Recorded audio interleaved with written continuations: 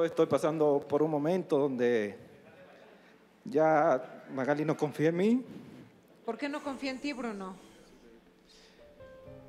porque pasaron cosas, bueno, hace mucho tiempo, pero obviamente nosotros siempre tratamos de, de solucionar los problemas entre nosotros, pero esta vez ya no puedo. Necesito que me ayude, por favor, Juan Carlos Cota. Por supuesto que te ayudamos, pero Magali, ¿por qué no confías en Bruno?